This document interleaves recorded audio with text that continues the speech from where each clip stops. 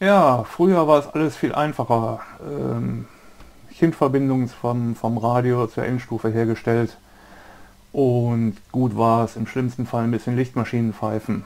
Heute müssen wir immer öfter ähm, das Werksradio drin lassen, weil es komplett integriert ist im Fahrzeug. Und die Radiohersteller lassen sich immer neue Endstufen-Topologien einfallen, die uns das Leben schwer machen. Wenn du nach dem Einbau deines Verstärkers ähm, Probleme hast mit kratzenden Hochtönern, Grummelgeräuschen, Popgeräuschen, dann solltest du auf jeden Fall die Endstufentopologie in deinem Radio prüfen. Wie das mit ganz einfachen Mitteln möglich ist, du brauchst nur einen Multimeter und eine CD oder einen USB-Stick mit äh, einem Sinuston, das will ich hier erklären. Mein Name ist Frank Niketta.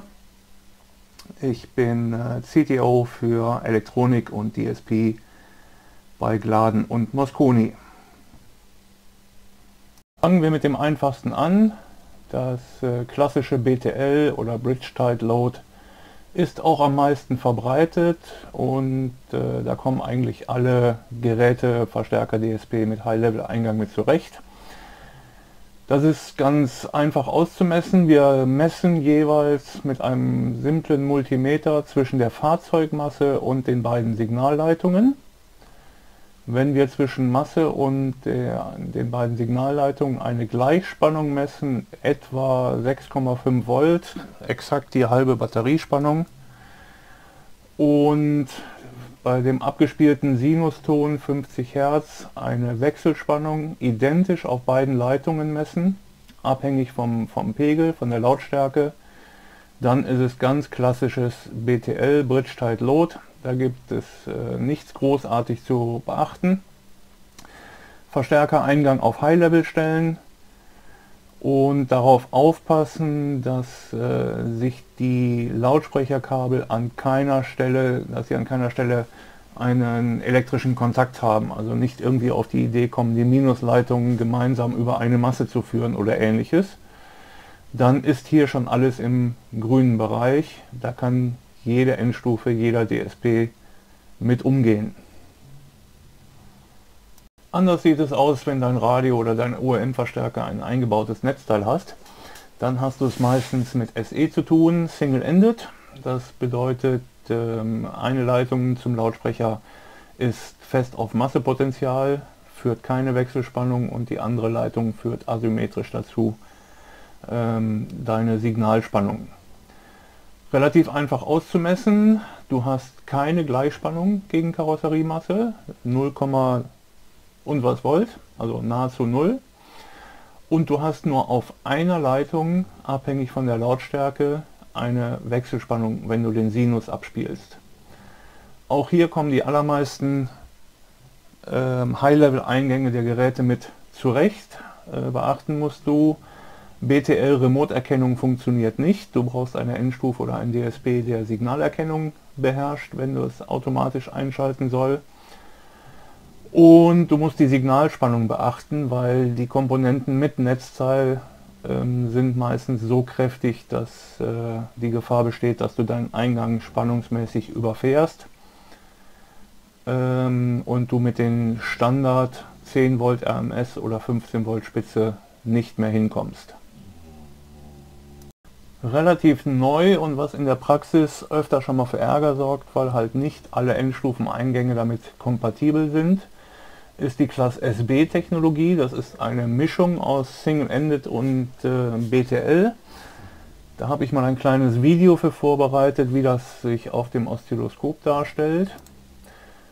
Und zwar hast du bei geringen Lautstärken hast du nur auf einer Leitung Wechselspannung die andere Leitung führt kein Signal.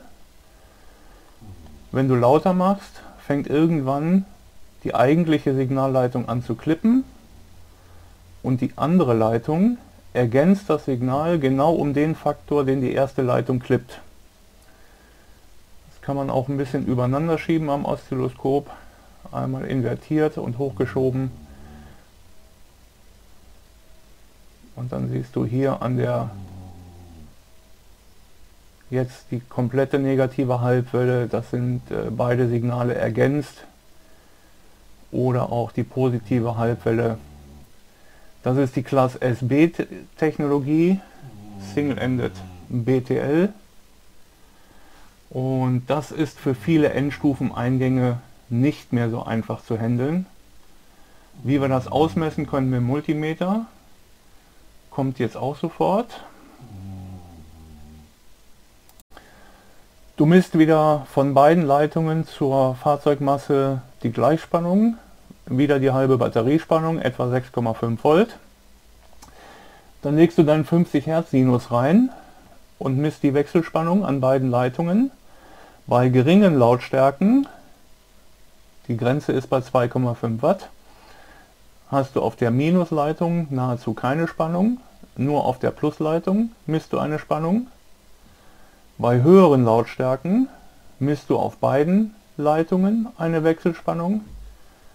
Allerdings ist die auf der Minusleitung geringer. Die Plusleitung führt eine höhere Spannung. So, in dem Fall muss also der Verstärker Class SB tolerant sein, kompatibel sein. Das sind alle Gladen und Mosconi Verstärker seit 2020. So, wenn du herausbekommen hast, ob du eine BTL, eine SE oder eine Class SB Endstufe in deinem Auto verbaut hast, dann solltest du auf jeden Fall noch einen letzten Test machen. Und zwar gibt es jede Topologie in der klassischen analogen Class AB Technik oder auch in der Class D Technik. Und bei Class D ist es spannend, wenn der Hersteller zu sehr am Filter gespart hat, dann kann es passieren, dass wenn der Lautsprecher nicht mehr angeschlossen ist, wenn jetzt an dieser Leitung eine Endstufe angeschlossen ist, dass der Ausgangsfilter nicht mehr funktioniert. Das hat äh, den Effekt, dass die Class D Trägerfrequenz mit ausgegeben wird. Die lässt einen Eingang vom DSP oder Verstärker überlaufen und kann im schlimmsten Fall, weil die nicht hörbar ist, aber eine volle Aussteuerung im hochfrequenten Bereich verursacht, ähm, deine Lautsprecher zerstören. Laut, äh, Lautstärke auf Null drehen, Gleichspann äh, Wechselspannung messen zu, äh, zu, zu, zur Fahrzeugmasse. Die muss nahezu Null sein. 0, und Volt. Dann ist es ein klassischer AB analoger Verstärker. Nichts weiter zu beachten. Hast du bei Lautstärke 0 eine Wechselspannung von einer Lautsprecherleitung gegen Fahrzeugmasse, dann ist das ein digitaler Amp ohne Ausgangsfilter oder mit nicht funktionierendem Ausgangsfilter. Dann muss auf jeden Fall ein Tiefpassfilter, eine induktive Kopplung äh, dazwischen, dann wird es gefährlich für deine Lautsprecher. Ähm, am besten frag deinen Fachhändler, was hier zu tun ist. Okay, ein paar schnelle Messungen, ein Multimeter und du weißt genau, was Sache ist in deinem Auto. Wenn du Probleme hast beim Anschluss oder einen Verstärker aussuchst für dein Auto, äh, mit dieser Information kann dein Fachhändler was tun. Und mit diesen Informationen kann dir auch der Support helfen, wenn du Probleme haben solltest in deinem Auto und die entsprechenden Maßnahmen empfehlen oder ergreifen. Das war's für heute. Vielen Dank fürs Zugucken. Abonniert diesen Kanal, bleibt auf dem Laufenden. Bis demnächst. Tschüss.